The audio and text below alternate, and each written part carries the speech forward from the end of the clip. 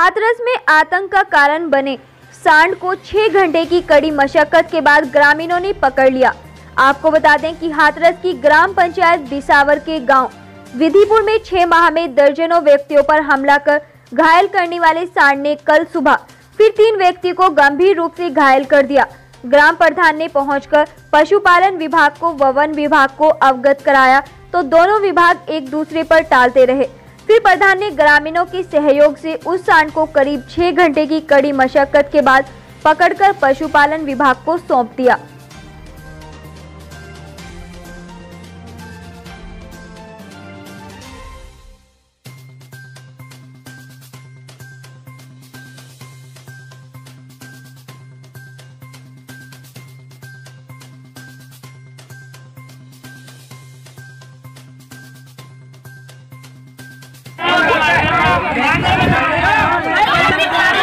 मैं बीच चौराहे पे जा। रहा हूँ बीच चौराहे पे।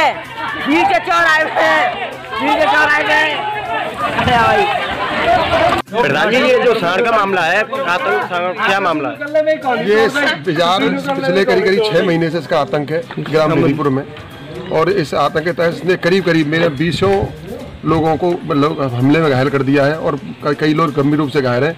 अभी तीन चार दिन के अंदर करीब चार पाँच लोग घायल हैं और एक हैं भैया उनके जो उनका नाम छिद्दू है, उनके दोनों हाथ टूटे हुए हैं, पर देवी सिंह जी है, उनका कूला टूटा हुआ है, एक भैया उनका हाथ टूटा हुआ है, और हमने प्रशासन को फ़ोन किया अभी, वन विभाग को फ़ोन किया तो उन्होंने कहा कि पशुपालन विभाग वाले करेंगे, और पशुपालन विभाग वाले बोलते हैं, वन विभाग वाले करेंगे। अभी एस साहब की कॉल किया, उन्होंने कहा, मैं देखता हूँ, इस तरह से टालम टोल हो रही है, कोई ठोस कार्रवाई इस बाज़ार के प्रति नहीं हो रही।